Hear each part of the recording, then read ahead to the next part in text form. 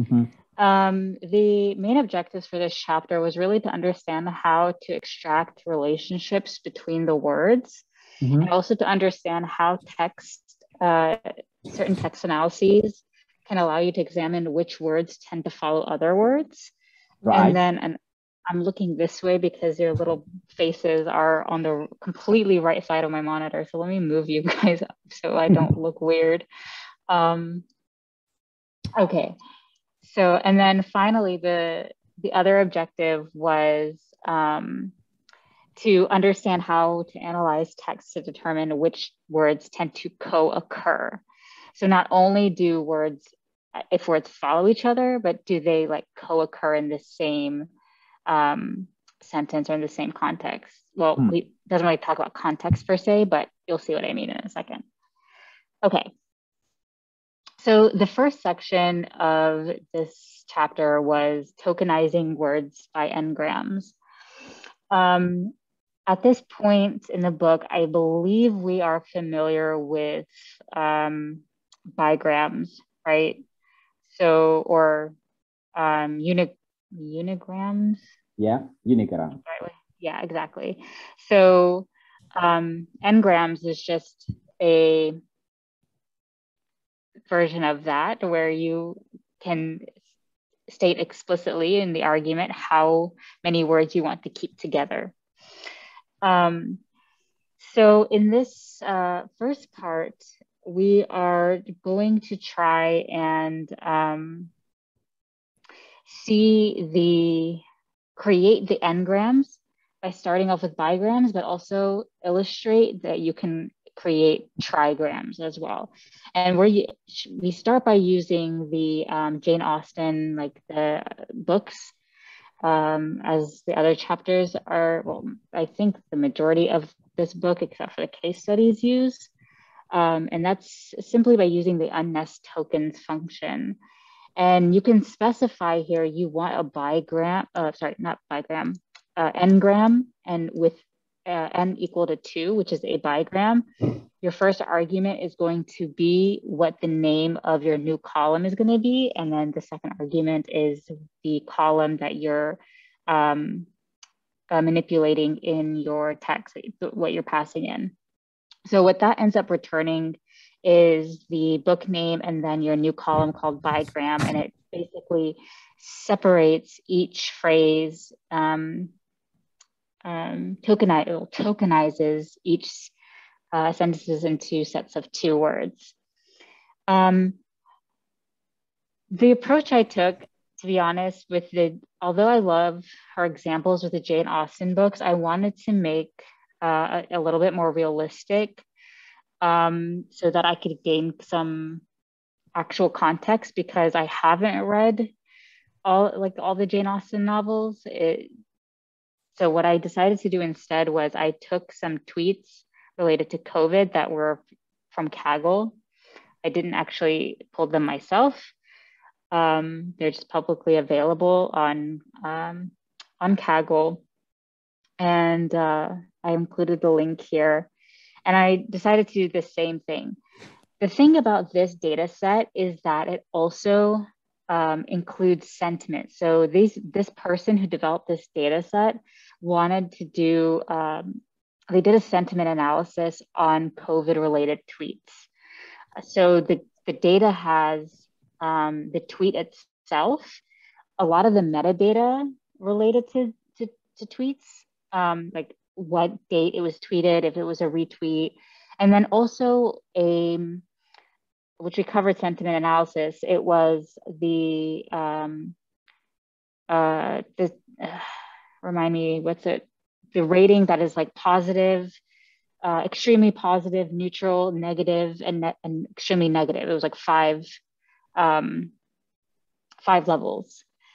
Um, so all I did was I decided to keep the original tweet itself and then the sentiment variable as like a grouping variable. So to kind of keep it um, aligned with how the uh, Jane Austen novels are analyzed, she always groups by book. Um, I decided to use the designated sentiment from the Kaggle dataset as my grouping variable. Okay, so um, I did the exact same thing. I created a bi I created bigrams from those tweets, and this is the um, the sentiment associated with the particular bigram. So you'll see here neutral, neutral. I don't know what this is. I don't know what this is. Um, these seem like tags. So this is somebody's someone's username have been tagged, and then a URL. So whenever you see in in tweets, um, t.co, that's a shortened. Uh, Twitter has shortened a URL, and so it's HTTPS. That's the protocol followed by t.co. Um, so there's a lot of there was a lot of URLs in this data set. So um, I was like, okay, we probably need to filter this out. Um, I took the bigram data set, I counted it. So clearly there are 23,000 of those words include, of those bigrams are links. So um, I, I believe I took those out. I filtered the HTTPS links. Um, there's also uh, stop words.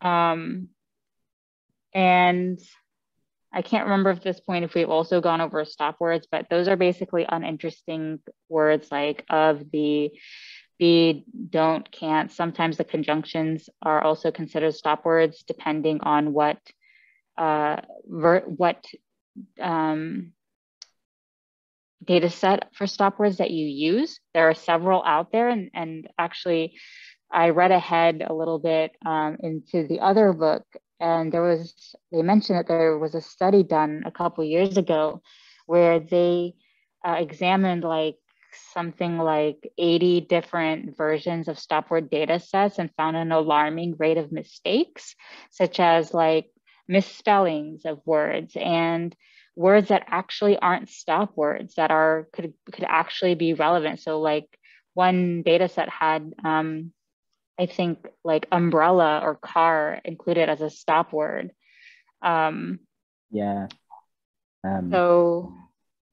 Yeah, I think um, uh, Lel, um, uh, I understand um, the issue you are trying to talk about. Some words appear in the um, some couples which they are not actually stop words. So um, I literally had this um, couple of weeks um, where I also, um, uh, because I'm working on a couples for Nigerian languages and mm-hmm. in Twitter, you don't have, um, AP, the Twitter API does not allow you to query um, to get any language in Africa. So for example, if you want to tweet in English, Arabic, you can specify in the Twitter API that I want to tweet in English or something. So we don't have that in uh, for any of the African languages. So um, I try to get tweets um, from Twitter.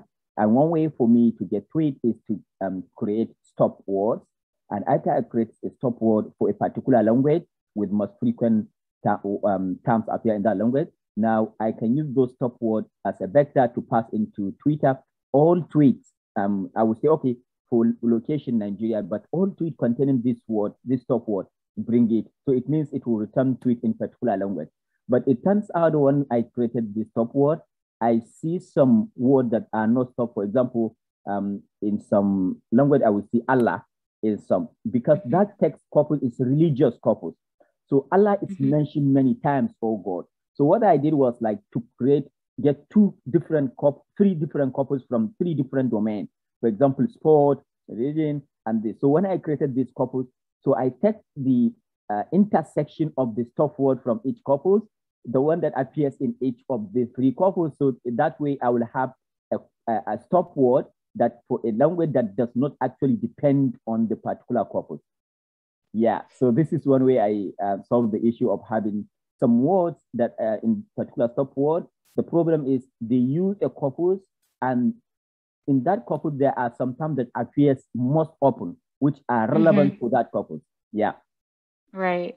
Um, I, I think that's I think that's appropriate because when I was reading that subsection in the other book, mm-hmm. um, the that's essentially how they were saying you would have to create your own because they they were suggesting that you know if a particular stop word data set doesn't apply or doesn't fit your need, you would most mm-hmm. likely have to create your own. And the, one of the ways to do that is to look at your corpus mm-hmm. and and uh, basically get the frequency of all the words mm-hmm. and the ones that are the most common would likely be your stop words because what shows yeah. up the most common are mm-hmm. the the and b and a and you know what we yeah. typically see that are really just uh, words that connect other more meaningful words yeah um, and also there are domain specific stop words. So I also had a, a for my uh, package that I wrote for drugs.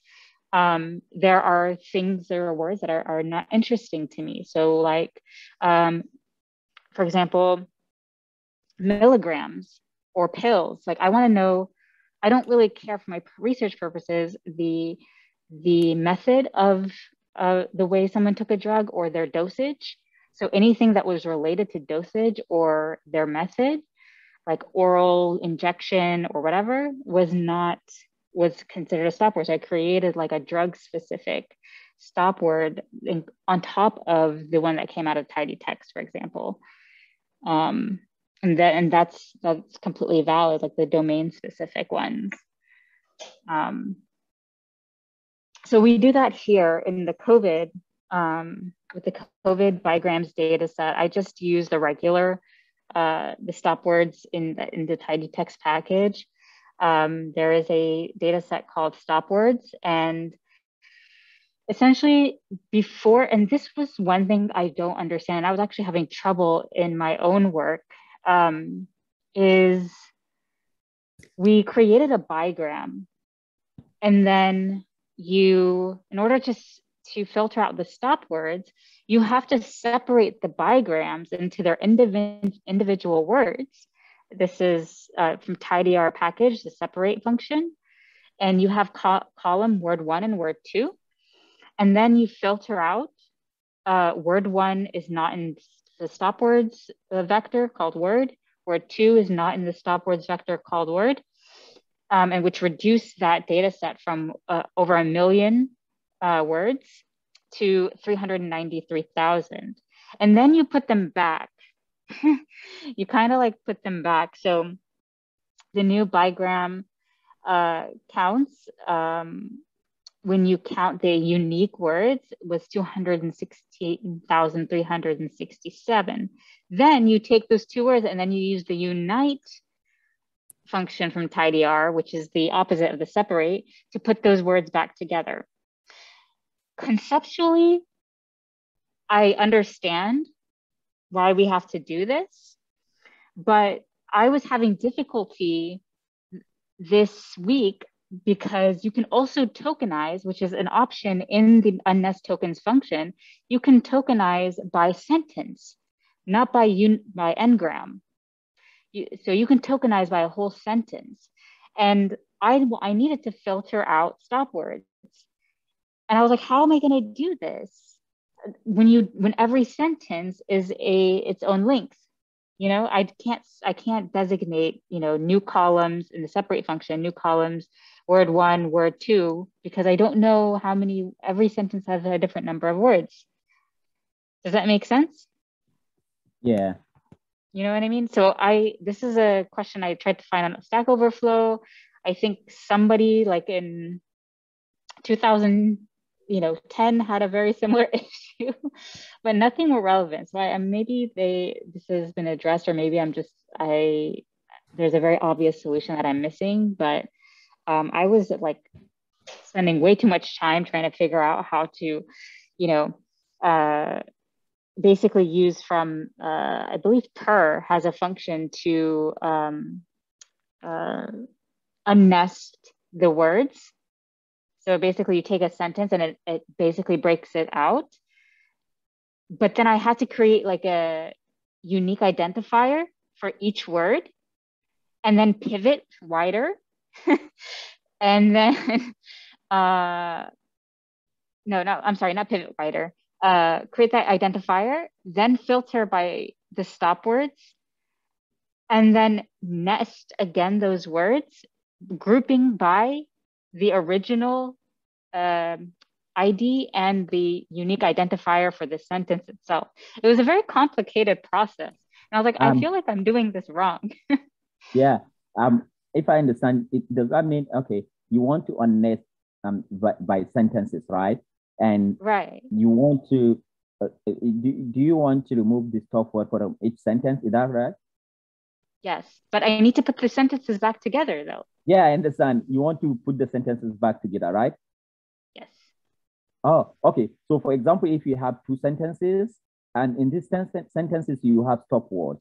So you want to have this exactly two sentences without the stop word. Is that right? Yes. Uh, I think I have done something similar to that. It was a lot. I thought it would be simple, but it was a little bit more tricky than I thought. I, I mean, I said what I what I just described was the solution that I ended up taking, but it felt like it was a very inelegant solution. That there may be something mm-hmm. a little bit nicer, a, di- a nicer you, approach. Have you done it? I mean, I I did it, but ah, okay. what I was saying is that I don't think it's elegant. okay. Yeah. I think I yeah, think I did something similar to that. I have a um, I have a question. Yeah. Can you can you here's I've I've been sitting here in, in uh I was gonna say deep thought, but you know, however deep my thought goes, whatever level that is, that's where I was.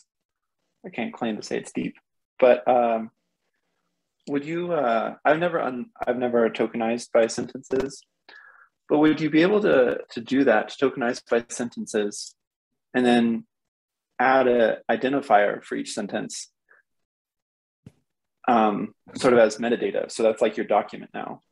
And um, and then what you do is then just tokenize by word as soon as you've done that. And then um, and then you remove the stop words because you need you need individual words for to remove stop words, at least as they do in this book. Uh, and then you can put things back together. There's a like using like glue collapse or or paste or something. Um, that's what that's what occurred to me. That that's essentially what I ended up doing. Oh, um, oh, okay.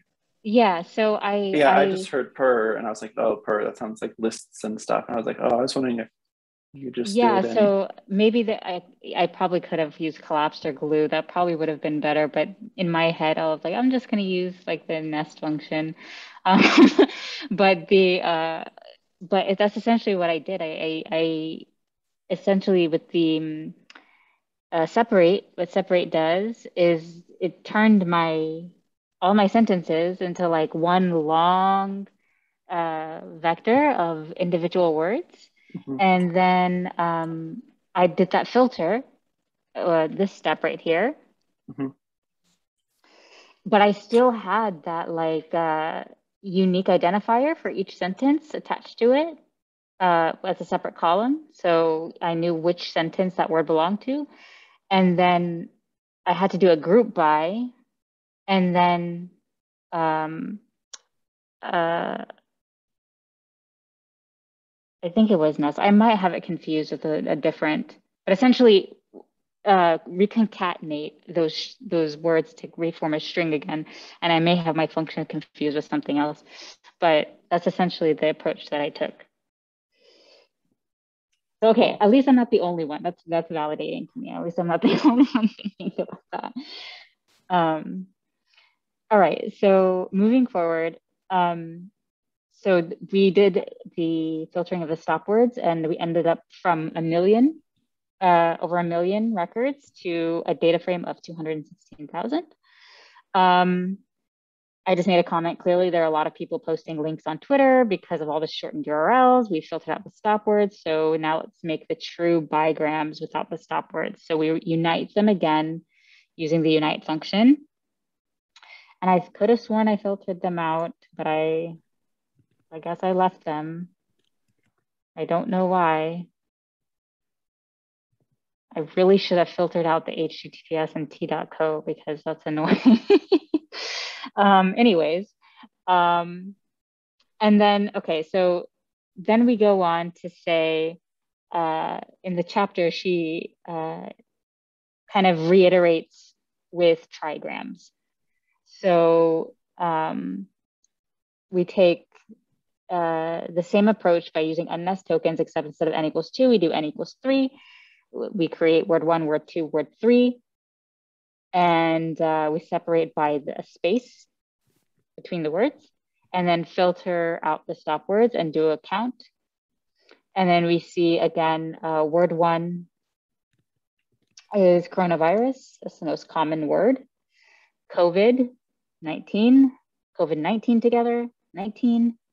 Grocery store workers is the sixth most common trigram in COVID-19 outbreak. Um, all right, so let's talk about how we analyze these bigrams and trigrams.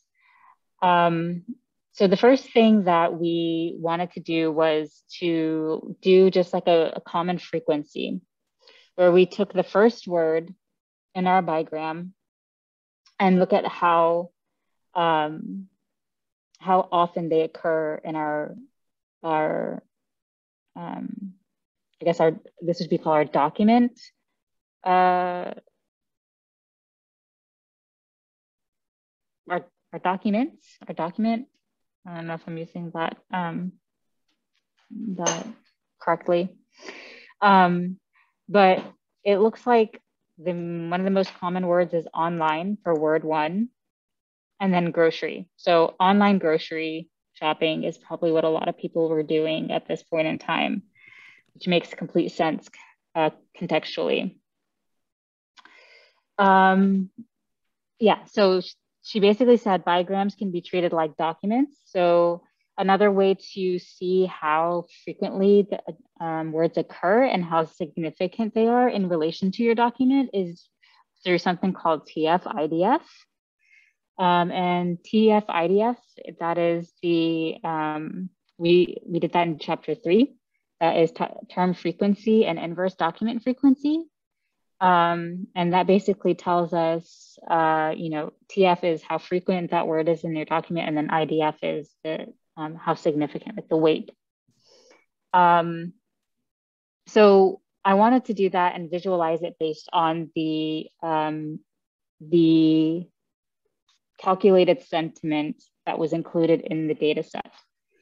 So by do, to do that, we took the count of the bigram of each of the bigrams and used the function called bind tf-idf and then um, arrange it in descending order. So you could see the most um, um, the most influential words. So we have price war, stop panic, strong amp, terroristic threats, experience hardships, which I don't know why this is extremely positive. Walmart trader and food shortages, most of them are negative. This is COVID 19 tweets, so it makes sense that most of these are negative. Um, and then friends are safe, positive.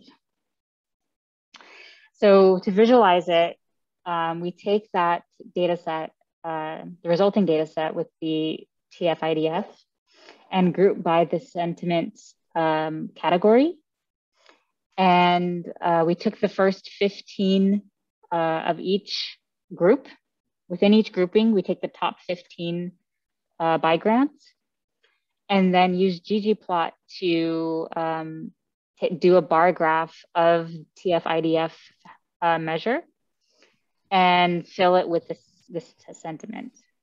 Um, and then you facet wrap by sentiment. So remember how I said I was using that as our grouping variable. In the in the book, she does that by um, the Jane Austen novel. So it's like Pride and Prejudice and Emma and Mansfield Park and all that stuff. Um, so we can see in the extremely negative, it's, it's a little bit um, hard. I probably should have just taken the top like five, but the um, one of the most um, influential is price war, and then we have stop panic under the extreme extremely negative and then under positive we have brad paisley for some reason it was most very influential under extremely positive. Uh, sorry, positive, and then strong amp. So I'm not entirely sure what that refers to. Um, So I basically, I wrote here the takeaway that bigrams are informative and can make tokens more understandable. They don't, they do make the counts more spare, sparse, sorry. Um, so make, meaning that um, it's getting two words, uh, analyzing two words together uh, is more rare than just looking at words individually, but can be very useful when you have really large data sets. Okay, so then she goes on to uh, provide context and sentiment analysis. So these bigrams, this data set already had uh, sentiment included as a variable, um, but I kind of wanted to see uh, what happens uh, if I redid it because um, it didn't. It, it's not. Uh, it's pretty trivial to do in this package.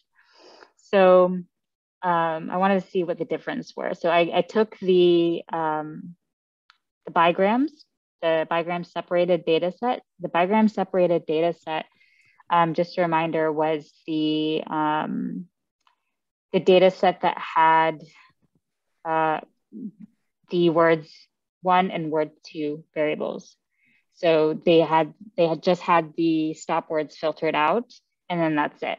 We didn't re we haven't reunited them in this data in this data frame. Okay, so taking those individual words, so we have word one, word two, and we have the frequency. You see that there are a um, a lot of knots before so not going, not only, not to, um, and that are ne negative expressions. Those are called like negative expressions, if I remember correctly. Um, in this example, I, I used the AFINN um, to get the sentiments, um, but we also wanted to get uh, the most frequent words preceded by not. So what I did was um, get those bigrams the, that have been separated and filter the filter the data set, the data frame where word one is equal to not, and then join by a uh, inner join by the AFINN sentiment data set so that we can get that value from one net, uh, negative, negative three to positive three. Um, so then we can see what the not words are. So we see what actually happens, what this is actually telling us is that this is giving us a very negative, um, in this is giving us a very negative emotion, like a negative sentiment, panic. However, we know that in the bigram, it is preceded by not. So this is actually not panic, which negates the sentiment.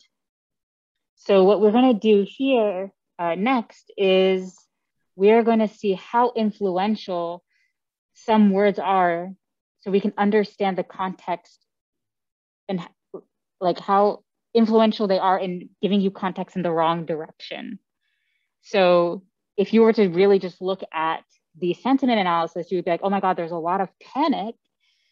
But to understand what it's preceded by could inf- you get a bit you get a better sense of the big picture, right?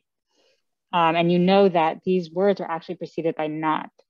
So we take those not words and we calculate, uh, we just take their, um, their frequency and multiply it by their value, like their like negative three, for example. Um, for panic, for example, that was the value assigned to sentiment uh, as the sentiment extremely negative and how many times it occurred. And then um, we arranged the um, data frame by in descending order by that contribution. And then we plotted that contribution um, in relation to its um, uh, the, the second word. Um, so for example, here is, yeah, so here's the sentiment value, which is the number of occurrences. So it's the value times the number of occurrences, and then the actual word that was preceded by a not. So not good and not panic. So panic is like the most influential word here um, because it occurred like more than 200 times, the word panic. Um, but we know that it was preceded by a not. So you would, you would basically inverse, um, inverse that. So if we were to try that again with a few more negation terms, so I created this vector called not, no, never, without, and did the same thing essentially. Um, the only one that came up was no out of these, um, out of this vector. Um, and we get essentially the same, almost the same results. So uh, no panic, not panic. Uh, we have no, sh no shortages, uh, no problem, no doubt, no shortages, shortage, shortages, just plural. Um, and no joke, no matter, no good. So uh, I guess you can see how this is, um, it's important to take in mind when you're, when you do bigrams, the negative expressions when you're analyzing those bigrams because it could actually inverse the, the meaning of what you're, um, the actual meaning. All right, so the um, last part was visualizing. Oh, wait, no, that wasn't it. Oh, is this the, okay, so uh, I'm just gonna rush through this part. So this is actually visualizing a network of bigrams using um, kind of like a, a, knowledge graph approach. Um, for some reason, I couldn't get iGraph installed on my computer. Um, it kept giving me an error and I even tried to get it off of GitHub. I could not, I could not get it to install properly. Um, but essentially, um, you basically take, it's like, an, it's like a network graph where you take a word and that is a node and then another, there's another word that's another node. And then there are edges between these nodes that tells you the directionality of how these words are connected to each other. And let me just show you, I just caught, I just uh, copy and pasted the images from the, the book itself to give you an idea. So this is what the, um, the code would look like to actually produce this. Um, and this is using the Jane Austen text um, uh, data. And you can see that miss is used a lot. So there's a lot of um, nodes coming out of the Miss node, going to Miss Smith, Miss Crawford, and then Crawford to Henry. So you can see those relationships between words graphed out into nodes and edges. Does that make sense? All right, and then she does the same thing, but in a little bit prettier format where you can actually see the arrows and um, you can see thousand goes to pounds. So something costs either weighs or costs a thousand pounds versus pounds a thousand. Um, all right, and then this the last section, which is um, I think pretty concise, is counting and correlating pair pairs of words. Um, so what's useful about this part is understanding where the words co-occur. So they don't necessarily have to be together like in the previous section with bigrams, but just knowing that they do co-occur is equally as useful. So um, for this example, I looked at the tweets that were only extremely positive, um, and then grouped them into chunks of 10 tweets. Um, so because it, and I made a note here, by the way, the tweet span between March 1st and April 1st, so there's a month worth months worth of, of data. Um, but we wanted, so, and I made, I also made a, um, a little side note. It, the data came through, everything was a character. It probably would have been better to convert the tweet at like, after I'd already done this, I thought maybe I could have converted the the date variable in, into an actual date format so that I can sort by it, and so we can get the tweets in chronological order. Um, but unfortunately, I didn't have time to go back and and redo that. So, um, yeah. So this is a little bit to me was a little bit confusing um, because in order to count uh, co-occurrences and correlate them, you have to convert the data into um, um, wide format. So kind of like in, in, in matrix, to be able to do matrix operations. And so there's a package called widyr that allows you to do perform those matrix op, matrix operations like pairwise counts or correlations between two words in a, a more tidy fashion. Um, okay, so like I was saying, I took the original COVID tweets data and for simplicity, I just um, filtered out only the extremely positive um, tweets. Then I grouped them into chunks. So I created chunks of tweets, 10, 10 chunks of tweets at a time, and labeled it. Um, and then filter any chunk greater than zero. So we don't want, you know, no tweets, chunks with no tweets in them. And then do the same thing with unnest tokens. And we did it this time just by word um, and then remove the stop words. So what you end up getting now is 123,000 rows with, that are extremely positive, and then um, seven uh, records. So this is what this ends up looking like. So you see this is uh, the first chunk, and then this is the first word. Uh, so this is all one tweet, right? but with the stop words removed. And now we know that is part of, so this is like that identifier in a sense.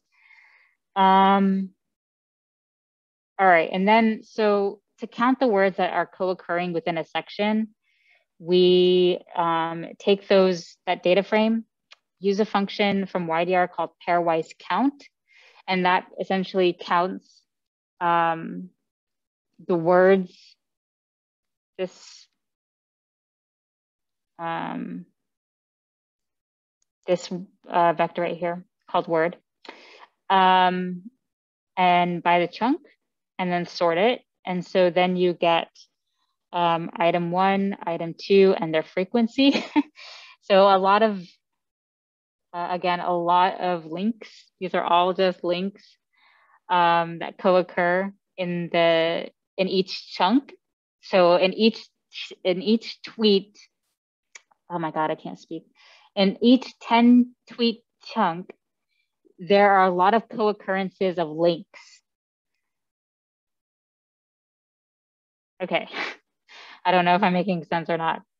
Um, but outside of the link, so uh, what I did was I took the those word pairs and I filtered, um, it looked like uh, after I scrolled down a bunch, that's COVID-19 and store were really popular.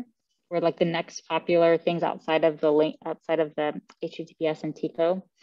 Um, and so I filtered the item equals store so we can get a better uh, idea. Um, so we say store and a link. So this is probably like somebody's advertising shopping, store coronavirus, store 19, store COVID, grocery shopping, supermarket, AMP, food, store prices. So these are all the, um, the frequencies of these occurrences, these two words occurring together in the same chunks. Okay. Um, and then finally, we have pairwise correlation. Um, so pairwise correlation is uh, we is helpful to know with co-occurring words um, because even though like two words may co-occur together, they may not be um, they're, they're, they may be individualistically um, meaningful, but we want to know the co-occurrences that are meaningful together. Does yeah. that make sense? What okay. is the relationship um, with this with word embedding? There's a relation to this with word embedding. You know I don't think I understand your question. Okay, you know what embeddings, right? Uh, yeah. Right. Um, so um, similar word co-occur in the same space. So this is more or less the same thing, right? Um, I just I don't want to definitively say yes. I don't think that they really have anything to do with each other. Okay. Uh, I thought that word embeddings are, you know, like vector representations of words. Yep. Mm-hmm. Uh huh. Along, you know, different semantic dimensions. Mm-hmm.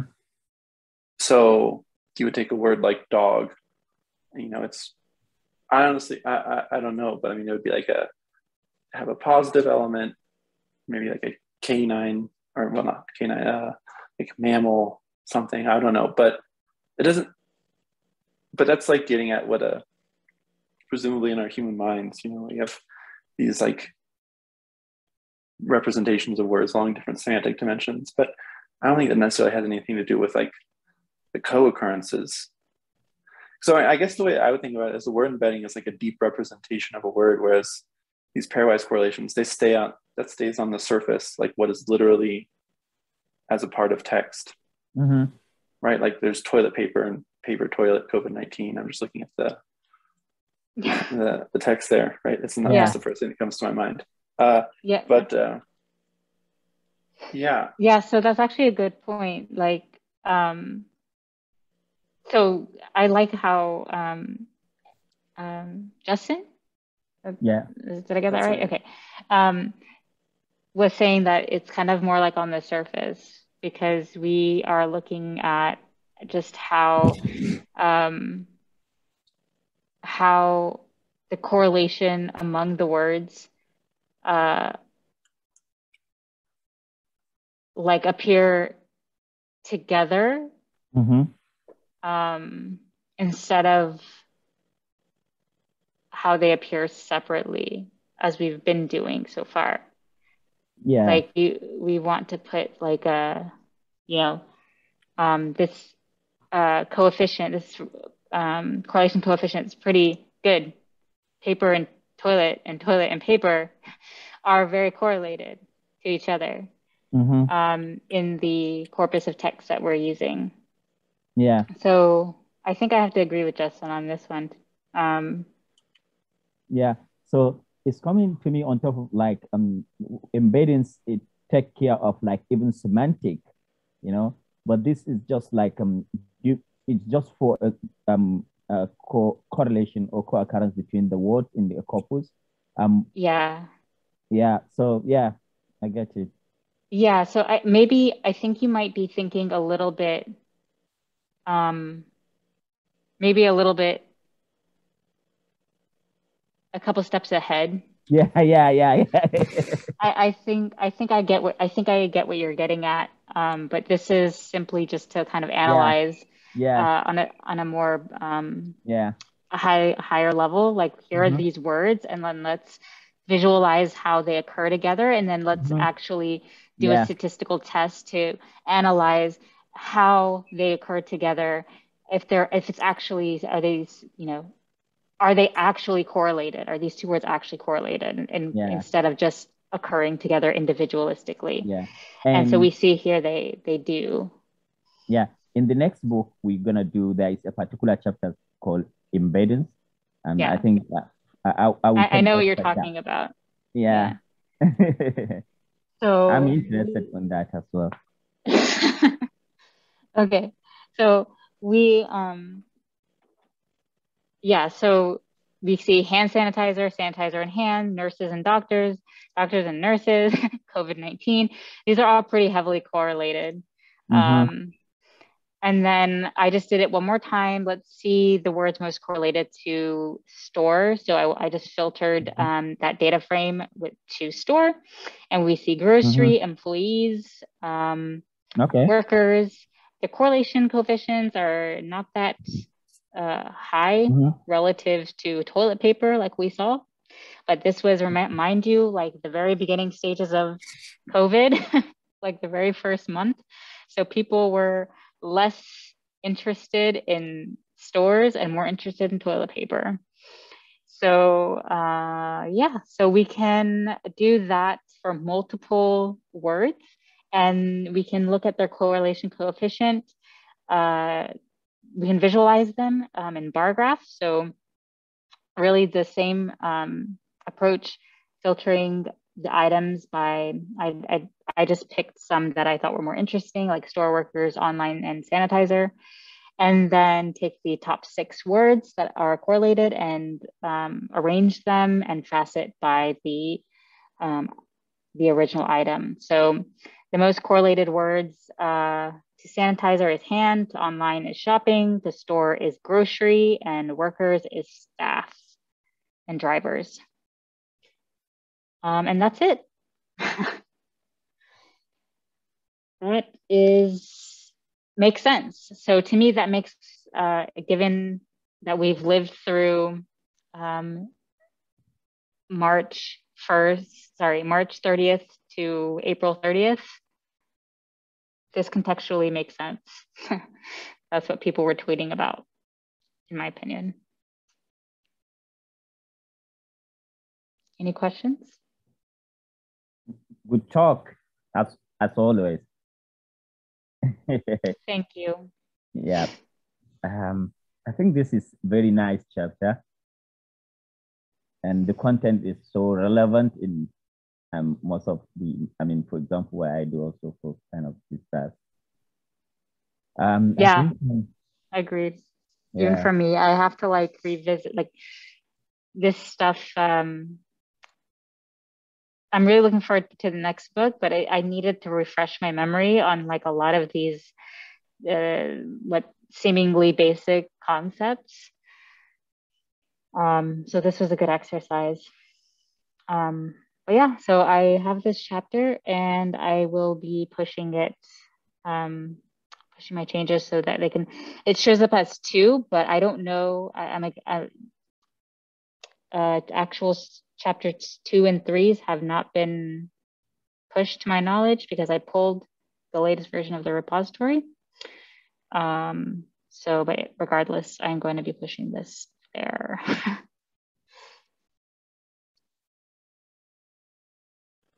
okay, that uh, sounds right.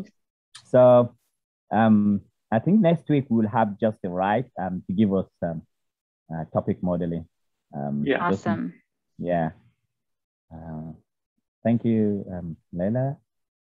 Um, no worries. Thank you guys for listening. Okay. See you all, all next right. week. See you next week. Bye, guys. Bye. Ciao, ciao.